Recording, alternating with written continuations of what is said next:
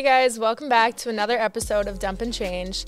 Today, our guest on is Addi Scribner from our very own St. Cloud State women's hockey team. Addi, how are you today? It's a great morning to be on the podcast. Been waiting for this one, so super excited you guys started this. Yes. So tell us a little bit about yourself. What grade are you in? Where are you from? Yep, so I'm a fifth year from Woodbury, Minnesota. And yeah, just close to home, playing college hockey. Love it. Did you grow up in Woodbury? Um, my family moved around a little bit, so spent some time in Kansas and Nebraska, but most of the time we were in Woodbury, and so that's what I claim as my home. Okay, and you're a fifth year, but you might have a sixth year. Do we know Uh, about rumors this are yet? spreading. Eligibility is in the air, so who knows where I'll be next year, but working on that for now. So yeah, um, taking my COVID year right now. I graduated high school in 2019, so I'm a fifth year, but my freshman year could potentially be a redshirt season, and so then I would get an extra year next year. And so, how did that all come about? Because we know that you transferred previously from Ohio State. Um, how did that all kind of go down your freshman year and being there, and then transferring um, to St. Cloud State eventually? Yeah, so it could be a long, crazy story, but We have time. Um, to keep it mostly short, um, committed to um, Nadine Muzerall, who's still the head coach there. Um, I committed as a sophomore. It was before the rules had all changed, so I was pretty young. Um, was committed there for all three years, and then went to Ohio State the summer before my freshman year. They like to have as many girls on campus in the summer as possible, and we got to take like classes with other freshmen, and it was super great um, for training and everything. So went there the summer before, did super well in my classes, was loving the hockey part and just everything being there. And then when school started in the fall, everything was still going super well. I was on second line and power play time, was not expecting any of that. Um, and then played two games and then was told, oh, you're suspended from the team because your grades aren't good enough. So you're not allowed at the rink or anything. And it was like, it was super weird. I was struggling in my classes. I was a biomedical engineering major, and I was not ready That'll for that. do it. so, yeah, I was taking calculus, chemistry, two engineering classes, and was struggling. So, um, yeah. do you feel like so, um, yeah. Do you feel like you had like academic support systems there that like could help or? Yeah, we did have tutors. I had an academic advisor who turned into my counselor. I went into her office and cried almost every day. um, what they're good for. But Yeah. um, yeah, there was a lot of support. Um, I was later that year diagnosed with ADHD, so that kind of helped me understand a lot of what's kind of going around in my mind, and it's really hard to manage everything. Um, and so then taking the hockey piece out of that was super difficult because then it took away any structure that I had left. Um, I wasn't allowed to work out with the team, didn't wasn't allowed at the rink or anything. Um, so I was pretty much separated from the team. I was in a whole new state. Um, so that was a super hard situation. Um, so that's when I really just turned to God and leaned on my faith as much as I could. Um, I still had pretty good community there. I was able to meet a lot of people early on, but um, yeah, that was definitely hard and unexpected. Um, and so it was kind of out of the blue. So yeah, my professors had sent emails and saying, no, she's doing okay. Like, you know, I was doing everything I could. I was going to class. I was going to all my study hours and everything. Um, and you can't be ineligible in the middle of a year. So, so that's what was weird too. Wow. Is um, yeah. So I was kicked off the team. So it was up to your your coach just Yeah. made, So your coach just said- pretty much. but yep. your grades were like I was like passing. Yeah. Yeah. And Yeah. I was failing like one class, like calculus, that I was really struggling with, but I was working really hard to get that grade up. Yeah. Um, yeah, and I feel like that's what they look so- for most of the time. They're like, as long as you're like putting effort in towards things and making it like Yeah. making an effort, actively trying to get it better, then most time I feel like they're pretty lenient about it. yeah. So that's why it was super weird. And then um, was not communicated with at all for over six weeks until they finally called me in for another meeting. I had been reaching out, calling, trying to the get coaches. yes, the coaching staff, And trying you to just get like answers. didn't go to the rink, nothing. I wasn't allowed. I we texted. Um, I texted and asked, "Am I allowed to go to the games? Like, am I expected to go to the games still?" Yeah, it was just like- super unclear. I was told you're allowed at the rink to participate as a fan, but you're not allowed to engage with the team or staff or anything. Oh my goodness! Were you Yeah. talking to other girls on the team at the time, like yeah, I about was this still kind of situation? friends with them, so Yeah. it was super weird. Because there was one girl where I was like, "Oh, I'm like failing my math class, and I'm super worried," and she's like, "Oh, it's okay. I failed math my freshman year, and like you think it's the end of the world, but it's not. Like it's fine." Oh, But it was just I don't know why. So it it was just just, a different very situation. targeted? So Yeah, why? it was interesting. Have you Yeah, figured it I out don't, yet? I don't know, but that's where um, now.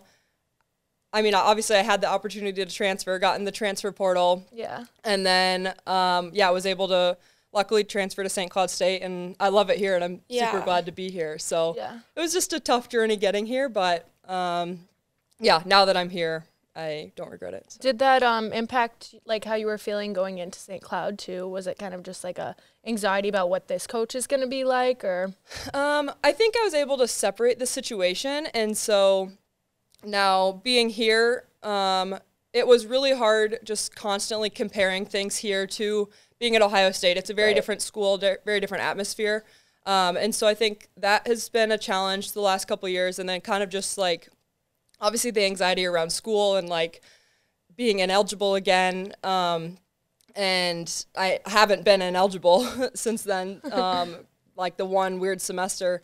But then, yeah, um, a lot of anxiety from that, but definitely been working through that. And now, um, yeah, I love being here in the program that we're building. It's super cool to be a part of. so? How long were you like not playing, not practicing for? How long did that period go on for? Um, it was probably, I mean, it was basically the whole season. So, like, I think it was like October 4th was the last day I was allowed to practice.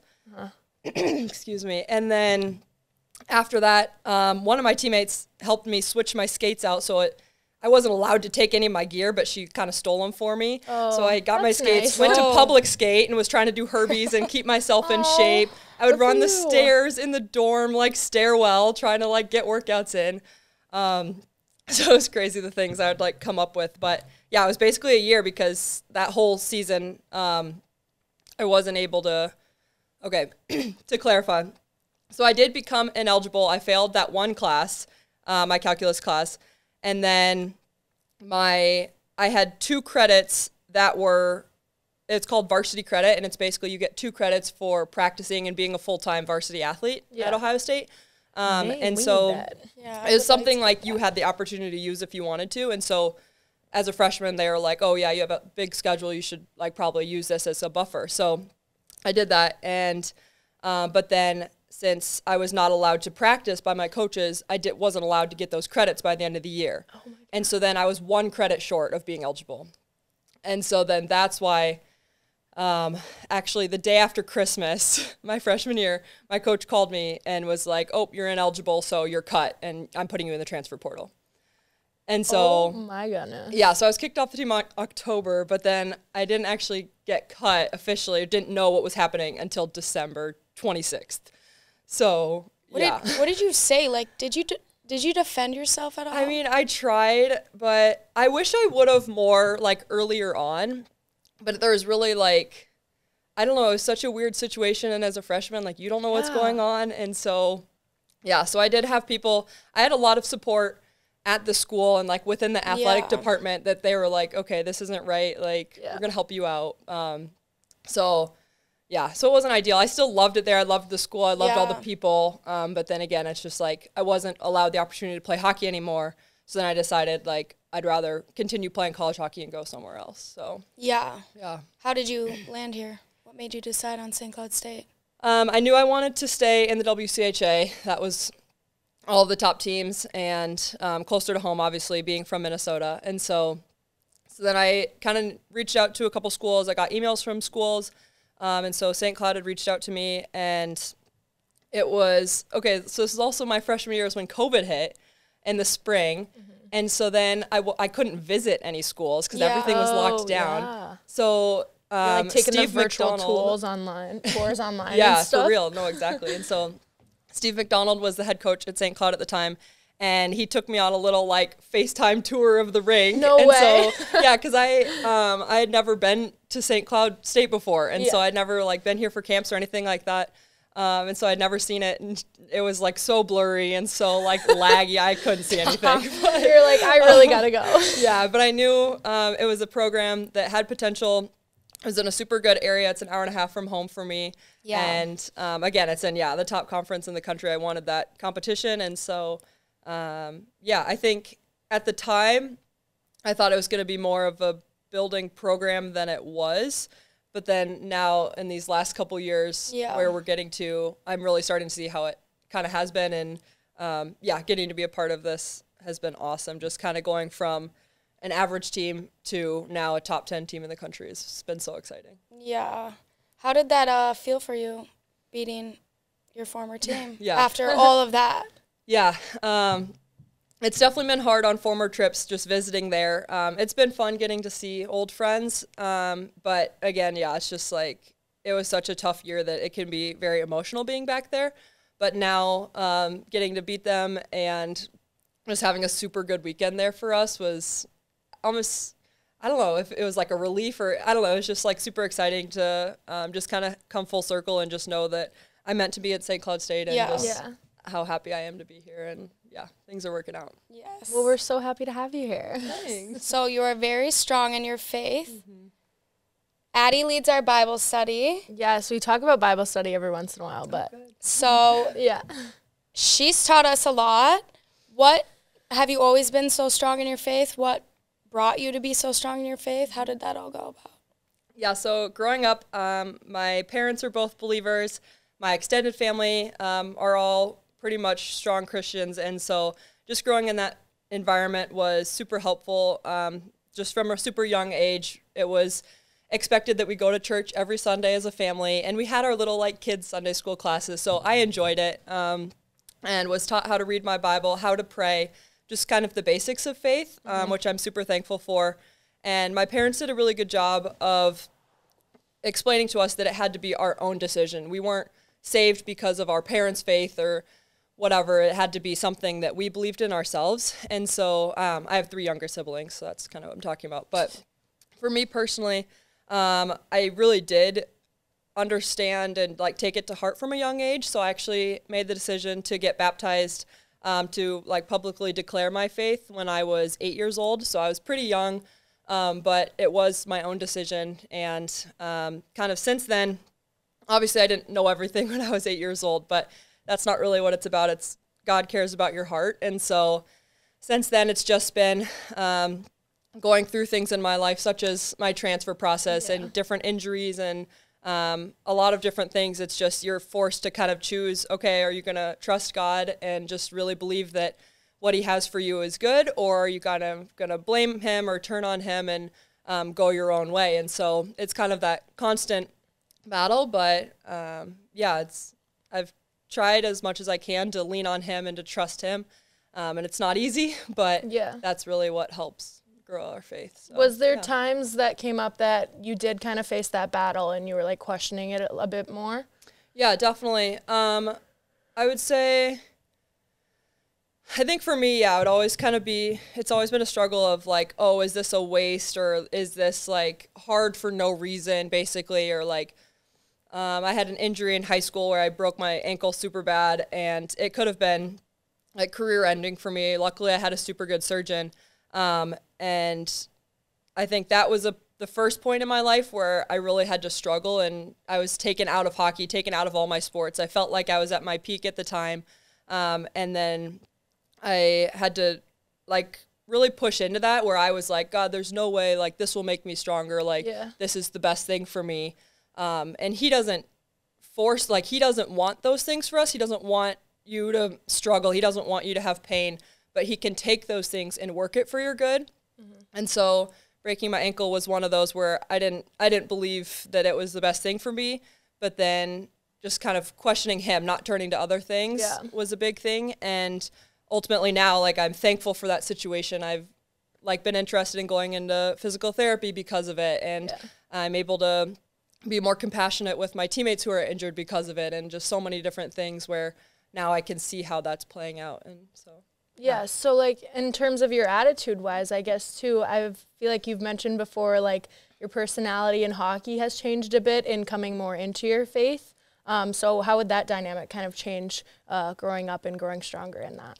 Yeah, definitely. Um, we've kind of yeah joked about it at Bible study how um, like faith really does change you just because of you're more aware of yourself and your actions and um, what's kind of the right thing to do. And so um, growing up, I think hockey for me was it was definitely a lot more selfish. I I loved playing hockey and I would work my hardest, but I didn't really care that much about my teammates. Like it was more so like I played hockey for me and um, I would like try to be super focused and dialed in um, and like not really care about the people around me. Um, but then I'd still try to be nice to them, but like I don't know, I just wasn't very. She tried. She tried so hard. I did, um, but yeah, I don't know. It was just more about me. And so then I had a lot of like performance anxiety where if I had a bad game or if we lost, I would just be bawling afterwards and I like couldn't control my emotions because so much of my identity and my future in my mind was wrapped up in hockey. And so that was something I really had to learn to separate. And again, breaking my ankle really helped me do that um, Yeah. to take a step back and say, okay, what's truly your identity? And for me, it's having my identity in Christ. Like I'm a daughter of um, God, and that's what anchors me. That's what my like purpose is. And so hockey is now just a vessel where I get to use that. And so now I still like I still love hockey. I still like work as hard as I can every day, but it's more so to I'm a lot more aware of my teammates and serving them and encouraging them and like being there for our team rather than just myself and my own performance. And it's so freeing being able to do that. So playing for God and nobody else. Yep. Which kind of like spreads out to playing for other people. But how do you like how do you play for God and not care about what your coach like mm-hmm. ultimately your coaches kind of decide Yeah. your Yeah. playing time. So so how do you do that? Yeah, it definitely is. Um, it's super hard as athletes because we're so used to working for what we get. So everything in our life, we think, oh, I earned that opportunity because I worked hard. But then with faith, it's the opposite. Like we were saved by grace through faith. And so we didn't earn our salvation. We didn't earn a relationship with God. He offers that to us. And so you kind of have to flip it and say like okay the coaches are giving me this opportunity to play i get to go to the rink to see my teammates every day and really just um, taking hold of that and appreciating that um, has like really helped my mindset too and just like brought joy back into the game Yeah. and Yeah. then we're able to play free in christ um, and again like god's always there as a resource for us we can talk to him on the bench like i'm praying through games a lot of times and just like if something goes wrong it's i'm super hard on myself so i have to learn to like forgive myself and so i'll like pray for that i'll pray at intermission like just little things where i try to keep my mind on god and on the bigger picture rather than just again on myself on my own performance because then that just gets negative so Yeah. Were there times where you felt like, I don't know, either where you were making that transition towards more playing for God and you felt like it was a setback, like there was something that was kind of like testing your faith a bit um, throughout that journey? Um, I'd say honestly, this year, this season has been um, kind of a work in progress for that. Our our faith will like always be tested. Like once you become a Christian, it doesn't just get easy, as you guys know, and so um, it's just something you always have to work at and like decide every day. You have to surrender every single day that this is like the decision you want to make. And so, for hockey especially, um, yeah, like at the beginning of the season, I kind of started slow, like points wise and stuff. And so then for me, it's like I want to be um, the best player I can be. I want to be like a leader on the team. I want to be able to contribute like points and production, whatever. Um, but then for me, I really had to work again at like, okay, what's your identity? Why are you here on this team? Like, and making sure I was still doing things the right way, still working hard, but sometimes like the goalie make a good save and it's out of your control, like, you know, or you'll hit the post and you're like, well, you know, and so, um, yeah. So again, just kind of reflecting back on like, what can I do even if my performance on the ice isn't where I want it to be? And then again, it goes back to serving my teammates and, um, yeah, just kind of focusing on that more than yourself.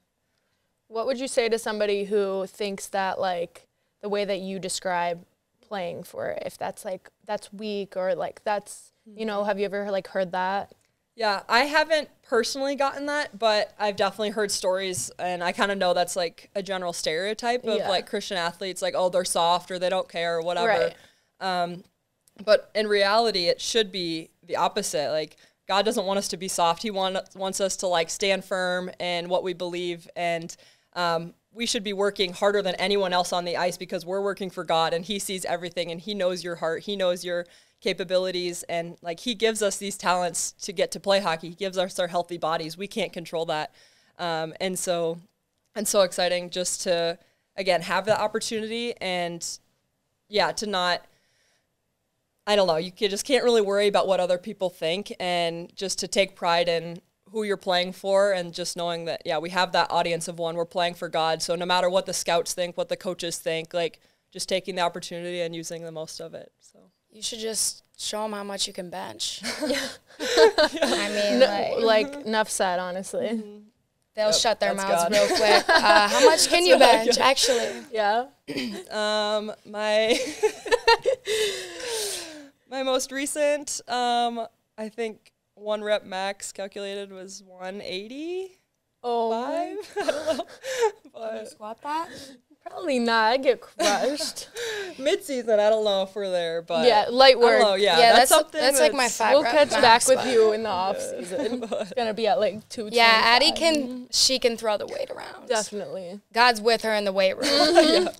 I'm praying through it. Let's say that. you have to. So, Yeah. yeah. Well, God put you here for a reason. You've taught, she's taught us a lot.